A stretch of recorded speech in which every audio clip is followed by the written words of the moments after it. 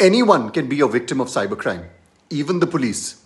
In a shocking case, Delhi Police Head Constable Prem Premlata lost 60,000 to a fraudster posing as someone from her husband's workplace.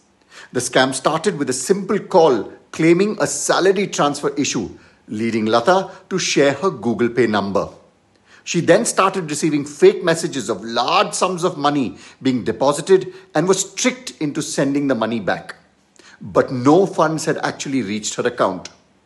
The police, after thorough investigation, revealed that a certain Dhan Singh Rajput, a former bank employee, was creating fake bank accounts in villagers' names, claiming to offer loans. These accounts were turned into mule accounts, manipulated through OTPs, and used to execute over 153 cyber frauds.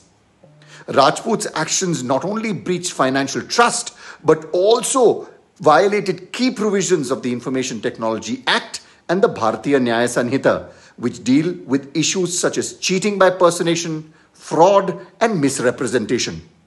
Share this reel to spread awareness about cyber frauds and the laws that protect us. And follow us for more such information.